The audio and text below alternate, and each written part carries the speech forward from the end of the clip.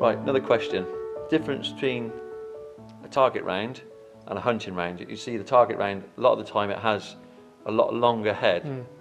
What, what's the reason behind that? Well, there are many reasons for that, but probably two biggest reasons are that hollow point boat tail bullet, which are considered precision bullets, Yeah.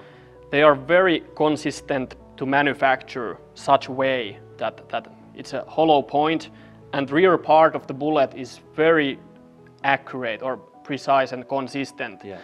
And, and that's of course production consistency is all about accuracy. Yeah, yeah. So, so that's one point. Other one is, is that hollow point boat tail bullet. With such structure, you are able to get more length to the bullet. Right, And more length means higher BC. right. So you are able to have with the same bullet weight, a little bit longer bullet and, and also higher BC. So BC is ballistic coefficient Yeah, and, and higher the BC is, the flatter the tra- trajectory Yeah. of the bullet yeah. is. So, So- so this is quite a hot, fast round then? Yeah, exactly. Yeah. So this is TR- TRG precision Yeah.